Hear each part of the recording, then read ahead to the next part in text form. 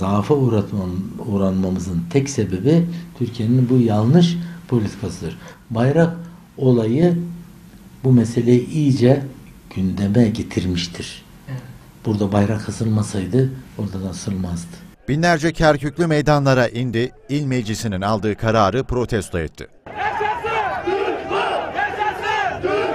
Kerkük Türkmandı, ezelden Türkmandı. Türkiye bunu görmesi lazım.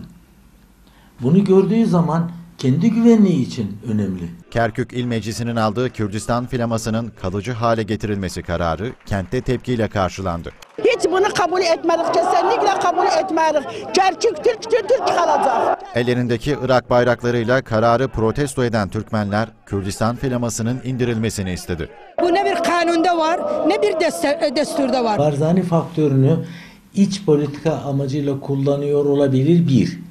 Fakat onu kullanarak bir noktaya varılmaz. Türkmen Danışma Meclisi Başkanı Ümit Akkoyunlu da Türkmenlerin Türkiye'ye sarıldığını ancak AKP hükümetinin verdiği tepkinin cılız olduğunu söyledi.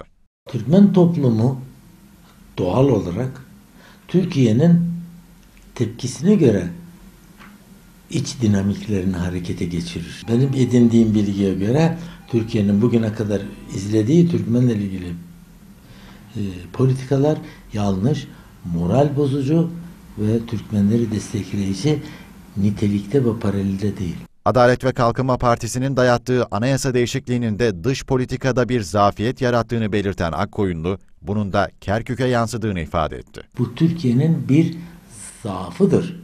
Türkiye'nin zaafı düşmanların güçlenmesi anlamına gelir. Fırsatçılara fırsat vermek anlamına gelir. Tehlike orada.